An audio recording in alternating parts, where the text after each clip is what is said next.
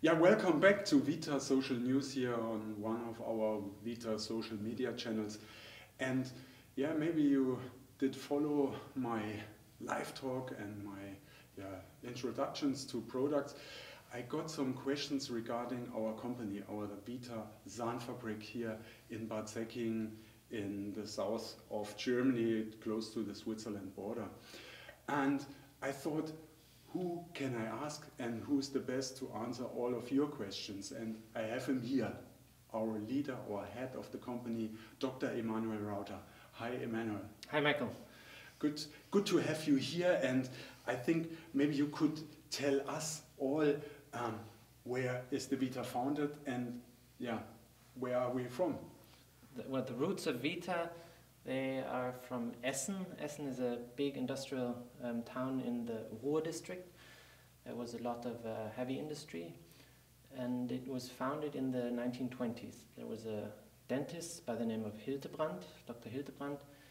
He was very unsatisfied with the denture materials he could use for his patients at the time.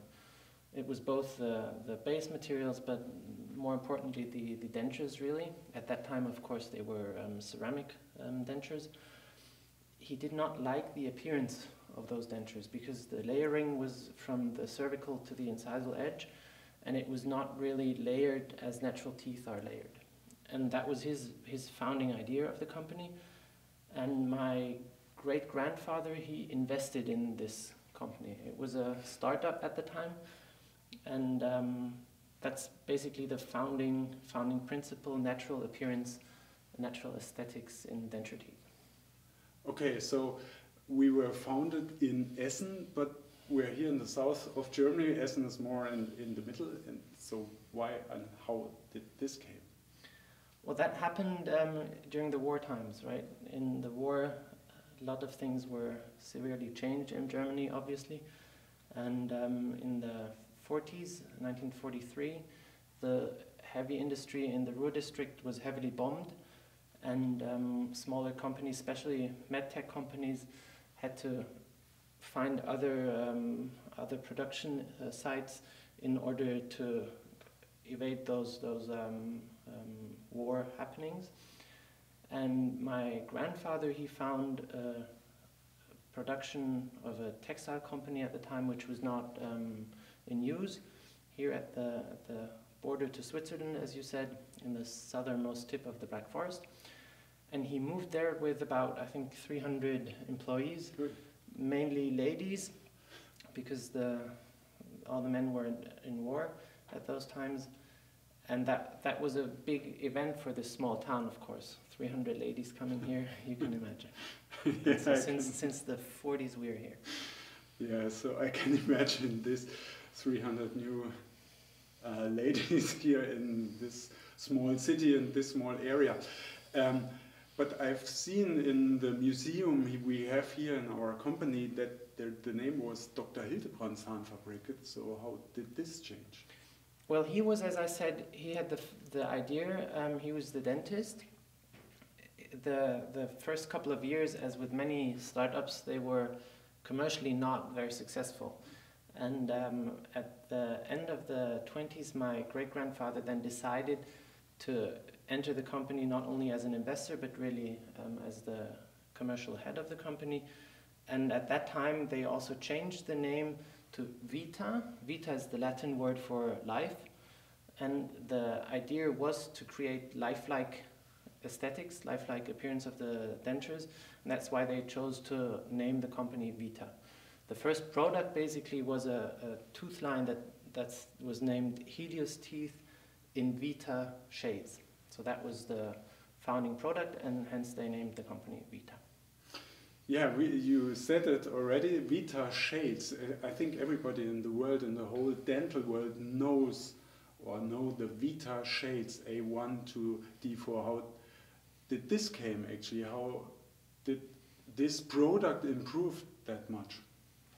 Well, it was in the in the beginning of the company already. It was very important to have a systematic shade system to select those those dentures. But I think the the really building block of the current um, classical shade guide, as we call it now, That was in the 50s with the Lumin Vacuum shade guides.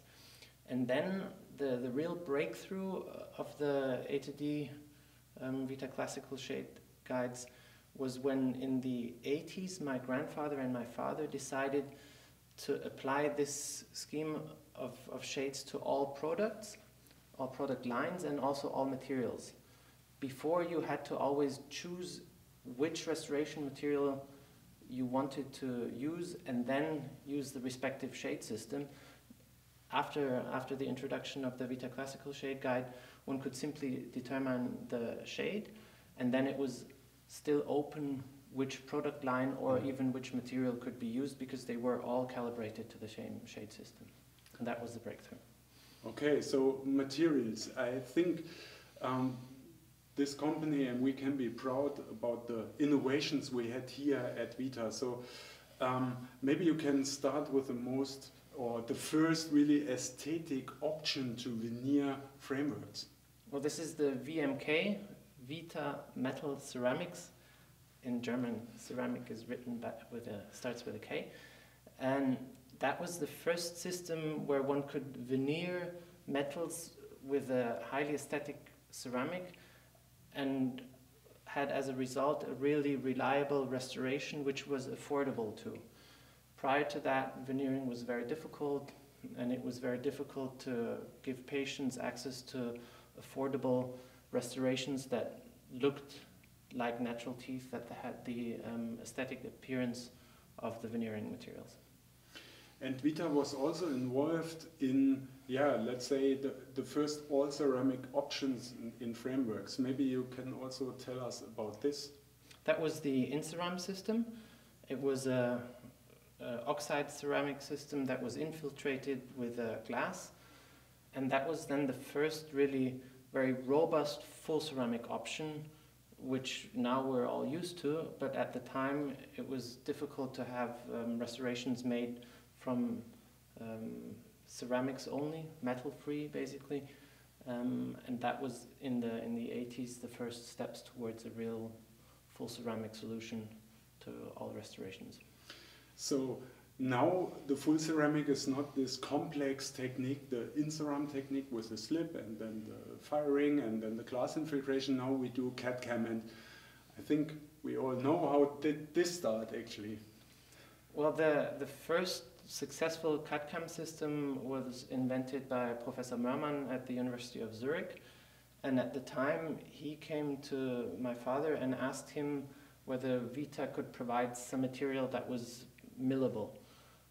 And that was a challenge because we all know ceramics are materials that usually are not easy to mill.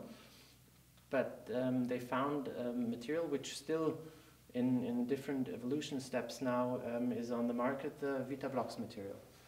And I think that's a very successful material still. And the, the story of the CAD-CAM development by Mörmann in the beginning was, was very challenging, I think, for, for both sides, for the material, but even more so for the software and the machining part.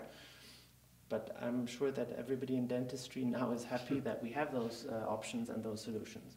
And it evolved uh, tremendously ever since. Yeah, so yeah, CAD-CAM is everywhere in the world and we all do CAD-CAM materials.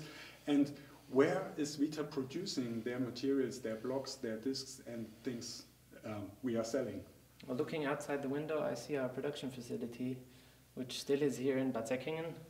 It grew, of course, uh, over the decades but I'm very happy that we, we have our core production here in Bad Säckingen with a team of very loyal and very professional um, employees We're committed to produce all our products in the quality standards that, that we expect from our products in order to serve our, um, our technicians and dentists as users.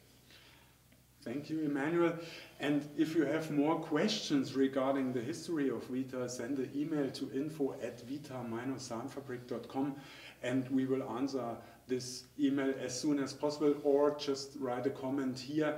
And if there are more deeper uh, knowledge, um, yeah, if you want to have more deeper knowledge, I will refer to um, Dr. Emanuel Rauter and he will answer this as well.